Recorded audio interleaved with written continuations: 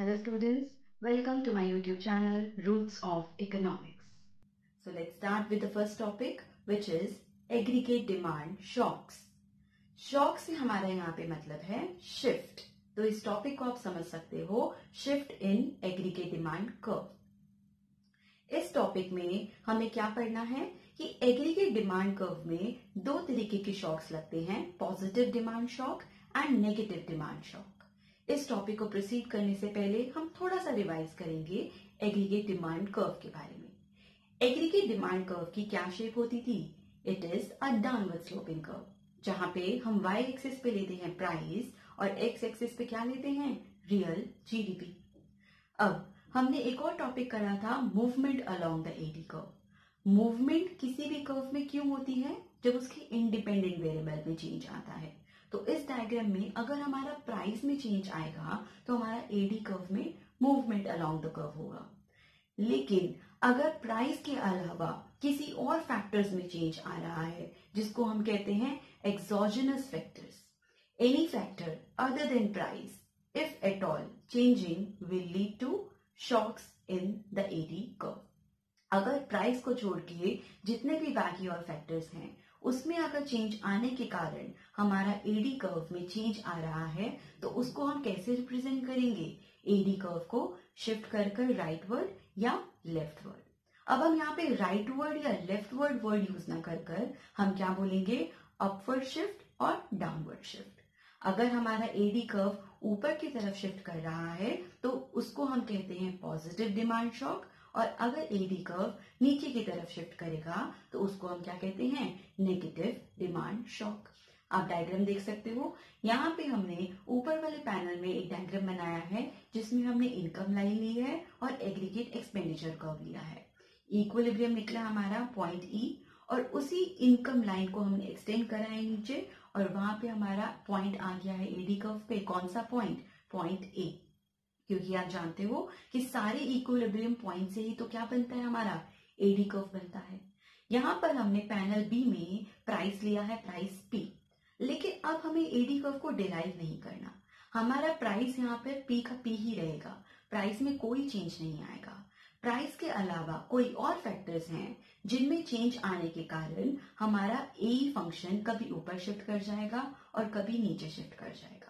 तो पहले केस लेते हैं, जिसमें हमारा ए कर्व कहा शिफ्ट कर रहा है? ऊपर की तरफ़ टू ए वन जैसे ही हमारा ए फ़ंक्शन शिफ्ट करा ऊपर तो हमारा नया इक्विलिब्रियम आया एट पॉइंट ई वन जहाँ से इनकम निकल कर आई वाई वन अब ये जो इनकम हमारी इंक्रीज हुई है, इसको हम लोअर पैनल में भी रिफ्लेक्ट करेंगे।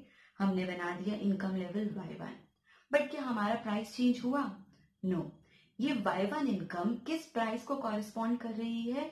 सेम प्राइस प्राइस पी तो पी और वाई वन जो हमें पॉइंट दे रहा है पॉइंट बी वहाँ पर हम क्या बना डालेंगे? हमारा न्यू ए बी कर्व तो हमारा ए फ़ंक्शन ऊपर की तरफ़ शिफ्ट होने की वजह से हमारा डिमांड कर्व क्या कर गया है?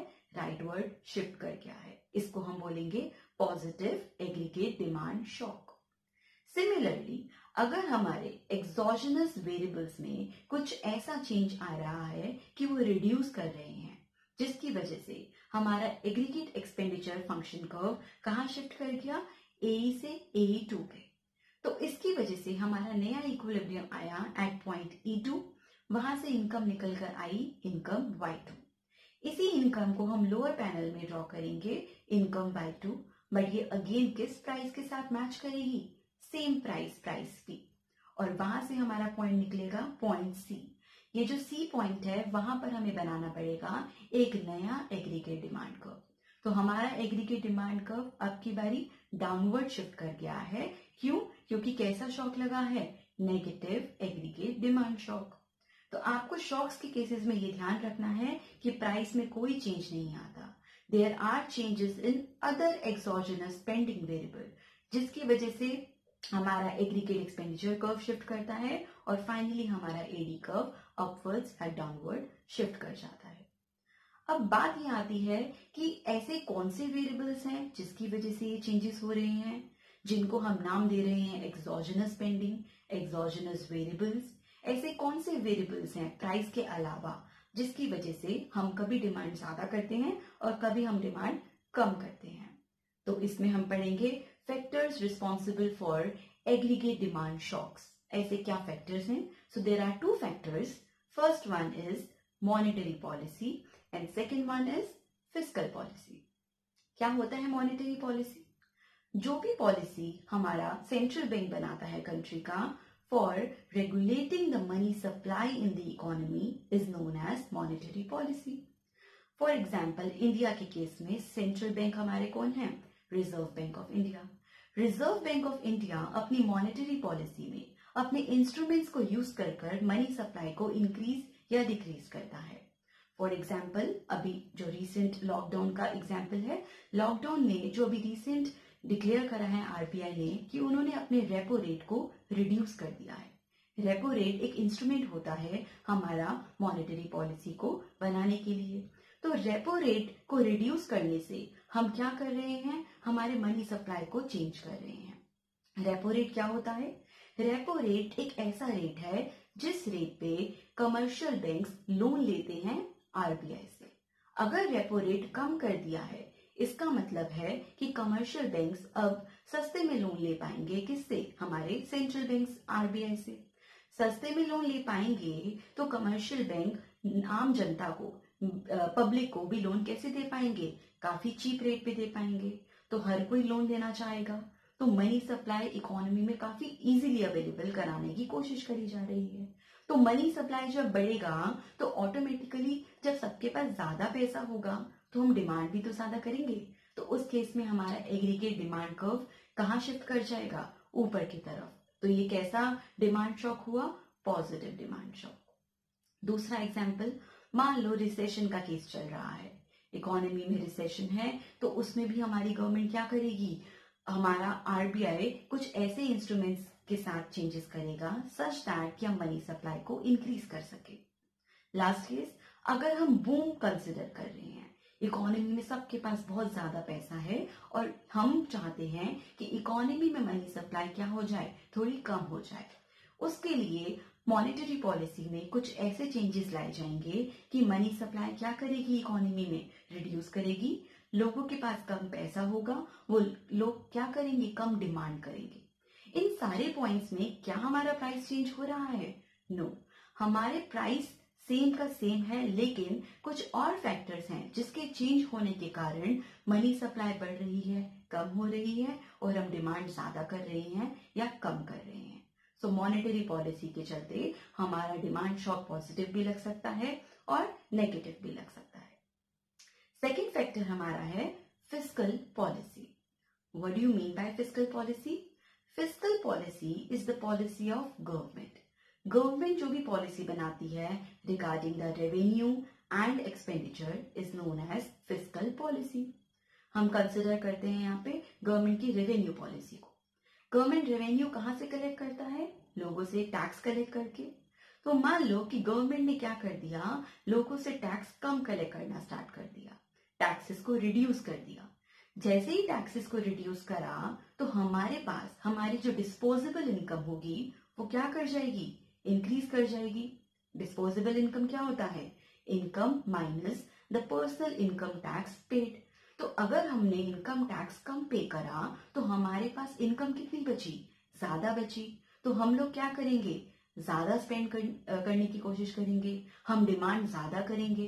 तो यहाँ पे कौन सा डिमांड शॉक लग गया?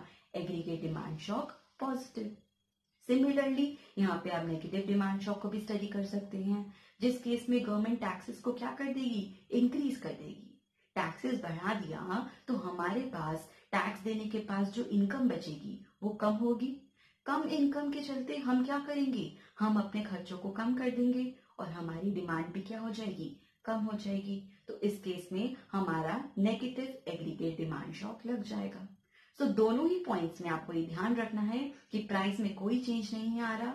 It is only through the changes of monetary policy and fiscal policy कि हम ये देख पा रहे हैं कि डिमांड शॉक लग रहा है positive and negative next topic is aggregate demand multiplier aggregate demand multiplier का क्या मतलब है? कि एडी कर्व में हमारा कितना चेंज आ रहा है due to change in aggregate expenditure क्योंकि हम बार बार ये बात पढ़ रहे हैं कि एग्रीगेट एक्सपेंडिचर के चेंज आने की वजह से एग्रीगेट डिमांड कर्व में क्या हो रहा है? चेंज आ रहा है। तो क्या ये ज़रूरी है कि जितना हमारा एग्रीगेट एक्सपेंडिचर चेंज हो रहा है, उतनी ही हमारी एग्रीगेट डिमांड चेंज हो रही है? तो ऐसा ज़रूरी नहीं है। क्यों? क्योंकि हमारा मल्टीप्लायर इफ़ेक्ट वर्क करता है। तो इसीलिए एग्रीगेट डिमांड मल्टीप्लायर क्या स्टडी करता है? Change in the aggregate demand due to change in the aggregate expenditure as per the formula you can see it is change in AD upon change in aggregate expenditure which is A तो यहाँ पे हमने दो diagram बनाए हैं। Diagram A और diagram B diagram A में हम क्या कर रहे हैं? एग्रीगेट एक्सपेंडिचर कर्व को ऊपर की तरफ़ शिफ्ट कर रहे हैं। ए फ़ंक्शन जैसे ही ऊपर शिफ्ट करा from A to A one तो आपको वो जो गैप दिख रहा है उसको नोटिस करिए। वो शिफ्ट होने की वजह से हमारी इनकम बढ़ गई from Y to Y one और जैसे ही हमारी इनकम बढ़ेगी तो हमारा डिमांड में कैसा शॉक लगेगा? पॉजिटिव डिमांड शॉक क्योंकि यहाँ पे प्राइस चेंज करने की हम बात नहीं कर रहे हैं। एग्रीगेट एक्सपेंडिचर में शिफ्ट आ रहा है ड्यू टू सम अदर जिसके लिए हम डायग्राम बी में इसको रिफ्लेक्ट करेंगे by shifting the demand curve to the right तो डिमांड कर्व को हमने शिफ्ट कर दिया from D to D one अब डिमांड को जैसे ही हमने शिफ्ट करा तो हमारा जितनी इनकम बढ़ी है वो डिमांड के बढ़ने के बराबर है. लेकिन अगर आप नोटिस करोगे कि हमारा ए फ़ंक्शन जितना शिफ्ट करा था वो काफ़ी स्मॉल अमाउंट है. लेकिन हमारी जो इनकम बढ़ी है या कह लो हमारी जितनी डिमांड बढ़ी है वो बहुत ज़्यादा है. तो ऐसा क्यों हुआ? This is because of the multiplier effect हमारा मल्टीप्लायर इफ़ेक्ट वर्क करता है और हमारे एग्रीगेट एक्सपेंडिचर में जितना चेंज आता है, उससे कहीं गुना ज़्यादा चेंज हमें रिफ्लेक्ट होता है किसमें? हमारे रियल जीडीपी में और हमारे एग्रीगेट डिमांड में. After this let's move on to the next topic which is shapes of aggregate supply curve जैसे कि डिमांड में सिर्फ़ एक ही शेप होती है डाउनवर्ड स्लोपिंग बट हमारा एग्रीगेट सप्लाई कर्व की तीन शेप्स होती हैं। जो हमारी रेगुलर शेप है एग्रीगेट सप्लाई कर्व की it is upward sloping curve कि प्राइस के बढ़ने से हमारी रियल जीडीपी इंक्रीज कर रही है और हमारा एएस कर्व कैसा है? Upward sloping with a positive slope लेकिन एएस कर्व की दो और शेप्स होती हैं, जिनको हम क्या बोलते हैं? Extreme shapes of aggregate supply curve पहला केस उसमें है हमारा horizontal aggregate supply curve and second case is vertical aggregate supply curve.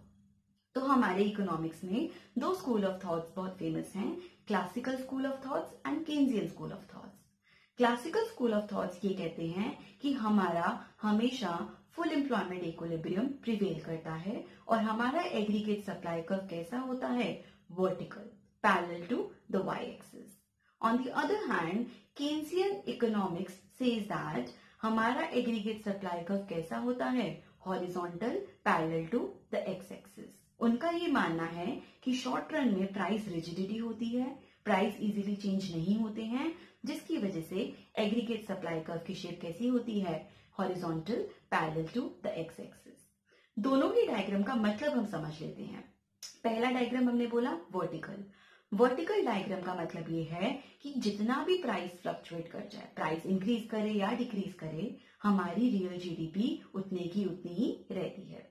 और हॉरिजॉन्टल सप्लाई कर्व से हमारा मतलब है कि सेम प्राइस पे हमारी जीडीपी इंक्रीज भी कर सकती है और हमारी जीडीपी डिक्रीज भी कर सकती है। So these were the three shapes of aggregate supply curve now the next topic is aggregate supply shocks इस टॉपिक को आप समझ सकते हो शिफ्ट इन एग्रीगेट सप्लाई जैसे कि हमने डिमांड में पढ़ा है कि डिमांड में पॉजिटिव और नेगेटिव शॉक लगता है सिमिलरली सप्लाई में भी पॉजिटिव और नेगेटिव सप्लाई शॉक लगता है, जिसको हम क्या कहते हैं? शिफ्ट राइट वर्ड शिफ्ट और लेफ़्ट वर्ड शिफ्ट यहाँ पर आपको ध्यान रखना है कि जितने भी डायग्राम्स आप सप्लाई में बना रहे हो, वो कैसे डायग्राम्स हैं? Short run aggregate supply curve के डायग्राम्स हैं because the chapter is all about the short run now short run में हम अज्यूम करते हैं कि हमारे इनपुट प्राइसेस कांस्टेंट हैं, वो चेंज नहीं हो रहे हैं. नाउ यहाँ पर दो तरीके के सप्लाई शॉक्स हैं। पॉजिटिव सप्लाई शॉक में हमारा सप्लाई कर्व राइटवर्ड शिफ्ट कर जाएगा और नेगेटिव सप्लाई शॉक के केस में हमारा सप्लाई कर्व लेफ्टवर्ड शिफ्ट कर जाएगा। सप्लाई कभी बढ़ेगी, कभी कम होगी। बट पॉइंट आता है कि क्यों? प्राइस सेम है, लेकिन कुछ और फैक्टर्स हैं। What are those factors so there are two factors first one is input price flexibility and second one is factor productivity input price flexibility को पहले समझते हैं। जैसे कि हमने बोला कि शॉर्ट रन में हमारे प्राइसेस क्या है? फिक्स्ड हैं। लेकिन अगर हम इस अजम्पशन को रिलैक्स करते हैं, जैसे ही इस अजम्पशन को हम रिलैक्स करते हैं और हम प्राइजेस को, कौन से प्राइजेस को इनपुट के प्राइजेस को फ्लेक्सिबल कर रहे हैं। इनपुट के प्राइजेस फॉर एग्जांपल आप जो भी रॉ मटेरियल परचेज इनपुट के प्राइजेस मतलब जैसे कि आप जो भी रॉ मटेरियल परचेज कर रहे हो उसके प्राइजेस में चेंज आना अब हम कह रहे हैं कि अलाउड है। तो अगर हमें इनपुट प्राइजेस कम होते हुए दिख रहे हैं तो बीइंग अ प्रोड्यूसर हमें ये लगेगा कि रॉ मटेरियल सस्ते में मिल रहा है। हम उसको ज़्यादा परचेज करेंगे और अपनी सप्लाई को भी क्या कर देंगे? इंक्रीज कर देंगे। तो यहाँ पे कमोडिटी के प्राइस में चेंज नहीं आ रहा है। इनपुट प्राइस में चेंज होने की वजह से हम क्या कर रहे हैं? अपनी सप्लाई को इंक्रीज कर पा रहे हैं। तो यहाँ पे लग गया पॉजिटिव सप्लाई शॉक सिमिलरली अगर हमारे प्राइसेस क्या कर रहे हैं? इंक्रीज कर रहे हैं. Input prices I am mentioning here so इसकी वजह से हमारी कॉस्ट ऑफ़ प्रोडक्शन क्या हो जाएगी? अब ज़्यादा हो जाएगी। हमें महँगाई लगेगी अपनी चीज़ों को बनाने के लिए, क्योंकि चीज़ों को बनाने के लिए जो हम रॉ मटेरियल परचेज कर रहे हैं, वो हमें कॉस्टली मिल रहा है। तो एक प्रोड्यूसर किस माइंडसेट से सोचेगा कि अगर रॉ मटेरियल महँगा है तो हम सप्लाई को क्या करेंगे? लेफ़्ट वर्ड शिफ्ट कर देंगे सप्लाई को रिड्यूस कर देंगे। So this was input price flexibility. Next is factor productivity factor productivity में चेंज आने की वजह से किस तरीके से सप्लाई शॉक लगता है? तो यहाँ पे हम एग्ज़ाम्पल से समझेंगे। मान लो कि एक फैक्टर है लेबर एक इंडस्ट्री है जहाँ पर 20 वर्कर्स काम करते हैं और वो एक दिन में 100 कमोडिटीज प्रोड्यूस कर रहे हैं। लेकिन अगले ही महीने वो सेम वर्कर्स 100 कमोडिटी प्रोड्यूस ना कर कर अब क्या कर रहे हैं? 200 कमोडिटीज प्रोड्यूस कर रहे हैं। क्या हमने रिसोर्सेज इंक्रीज करे? क्या हमने और लेबर हायर करी? नो सेम लेबर अब क्या कर रही है? ज़्यादा कंट्रीब्यूट कर रही है आपके टोटल प्रोडक्ट में। तो आपका जो कंट्रीब्यूशन है टोटल प्रोडक्ट में, अगर वो इंक्रीज कर रहा है with the same labour with the same factor तो हम कह सकते हैं कि हमारी फैक्टर प्रोडक्टिविटी क्या कर रही है? राइज कर रही है। और जैसे ही हमारी फैक्टर प्रोडक्टिविटी इंक्रीज करेगी तो ओनर को ये लगेगा कि हमारी कॉस्ट ऑफ़ प्रोडक्शन क्या हो रही है? रिड्यूस हो रही है। पर unit cost of production reduce होने की वजह से हम क्या कर देंगे? सप्लाई को इंक्रीज करना चाहेंगे। सप्लाई कर्व में कैसा शॉक लगेगा? पॉजिटिव सप्लाई शॉक और हमारा supply curve rightward shift कर जाएगा। ऑन दी अदर हैंड अगर हम ये कहें कि सेम लेबर अब कम प्रोड्यूस कर रही है, उसका कंट्रीब्यूशन टोटल प्रोडक्ट में कम है तो हमारा पर यूनिट कॉस्ट ऑफ़ प्रोडक्शन बढ़ जाएगी। तो इसलिए हम सप्लाई कर्व को क्या कर देंगे? लेफ़्ट वर्ड शिफ्ट कर देंगे।